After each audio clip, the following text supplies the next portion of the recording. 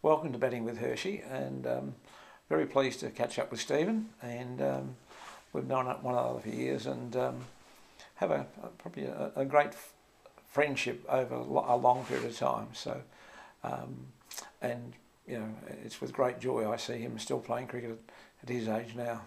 I wish I could do. I'm too bloody old.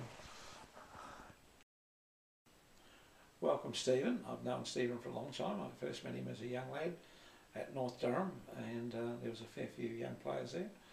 And um, talk about just talk about your time at North Durham, Stephen. How, how many years did you play there? Oh, I came from Consett when I was a young kid, about 12, 13 year old, yeah. and uh, my dad wanted us to still play cricket. He took us to North Durham. Yeah. And ended up playing junior cricket from about 13, 12, 13, yeah. all the way through. Stayed at North Durham for 10, 15 years but stupidly left. I should never have left North Durham. Biggest mistake of my cricket career was. We played in the Durham Senior League them days, and it was the hardest league in the Northeast by far. By far. I'm not saying those were the days to the younger generation now, but North Durham were always in the bottom four, but in any other league, we'd probably be in the top four them days. We had a good set of lads, very young team. I really enjoyed it and circumstances made me leave, which I should never have done. Um, you must have played against some good players and professionals in in the Durham Premier League, Senior League. Oh yeah, some cracking bowlers. Ewen Chatfield, Wasim Raja, Richie Richardson, Damien Martyn, your friend, come across the plate. Damien comes as a bowler, and ended up being a batsman. Um, Desmond Haynes, played some great cricketers, right, some brilliant, fantastic cricketers. And um, there's one good, Eng- not well, there's lots of good English people, like, but Stephen Greensword was a good player. yeah, Steve Greensword, Steve Atkinson, um, good cricketers, you know, um, always at you. Um, you learnt you Brian Lander. Brian Lander, in my opinion, was one of the best swing bowlers. Late swing. I was a left hand, and Brian used to bring it into me the last yard. It'd be a straight ball, and then the last yard it would. Oof, great bowler. Um, now, when you were at North Durham, there must have been a couple of people who had a big influence on you, and then later on in your career, career any the people that sort of had a big start with you as clubs or men? Yeah, at North Durham when I was younger, it was a lad called Keith Allen. Keith uh, helped me as a junior cricketer along with his brother David. Um, Stan Lapsley, uh, Richie Smith, Steve McCarthy, and then along came this guy um, who I looked up to he would praise me when I'd done well, and when I'd done badly, I'd get a rollicking, only rightly. But he had ways of doing it. The trouble with Hirschy, he had too much in his own shoulders, getting runs himself, than looking after us young boys. But North Durham was the place, no ifs or buts. And um, after you left North Durham, you you played a few different clubs, Stephen, and. Um, yeah, I was in a bit of a merry-go-round. I was a left-hand batsman batting in the first three or four and an opening bowler sometimes. Um, I went to Felling, played at Kirkley, Belsay, Newcastle City, which Newcastle City had a great time.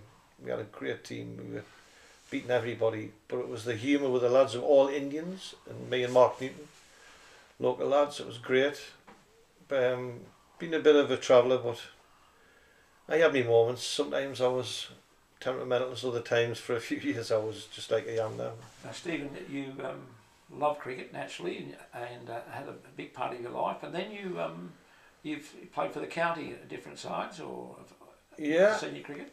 I played for the Durham Cricket Association in my thirties, Northumberland Association.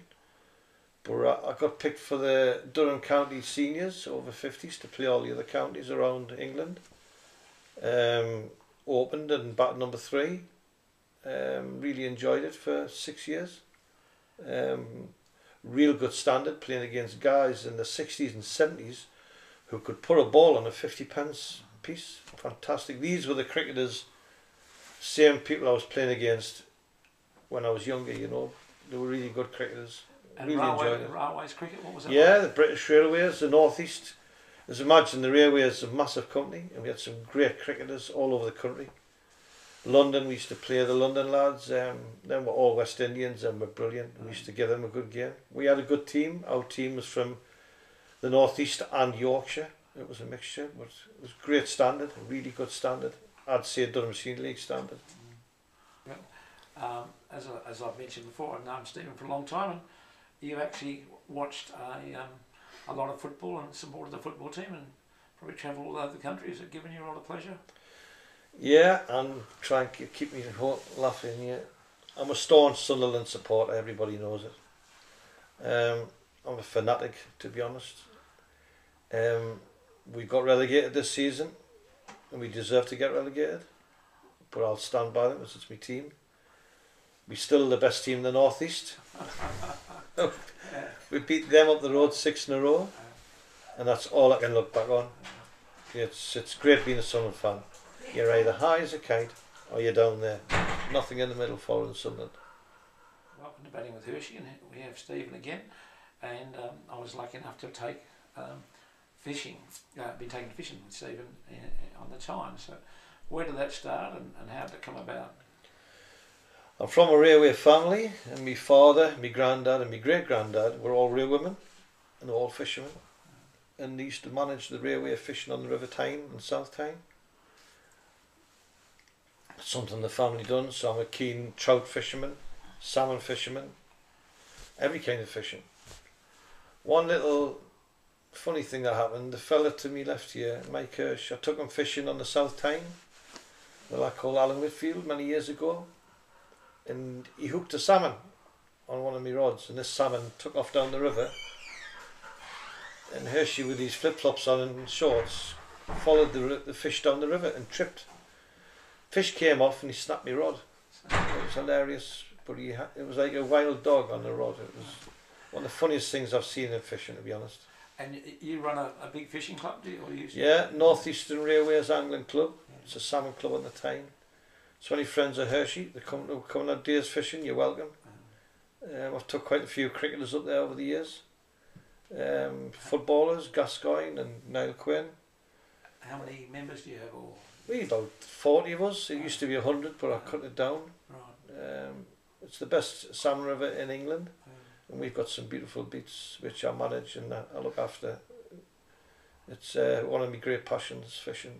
and how, how long? More so watching other people catch fish who are beginners. That's what I get out of it. How, long's the, the area to fish in? We're, well, around the Hexham area up to Haltwhistle.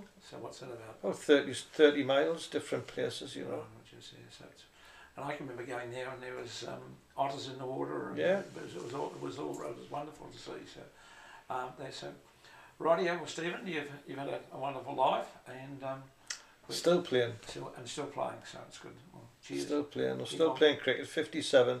Keep on batting with So, Hirschy. yeah, we'll Right. see. Thank you very much, guys. Cheers. Thanks. a lot.